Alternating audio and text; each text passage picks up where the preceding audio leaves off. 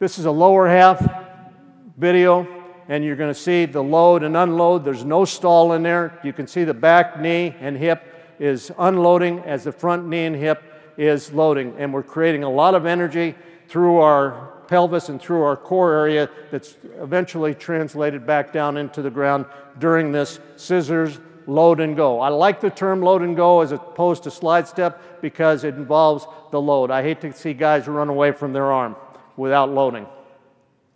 Here's a full body.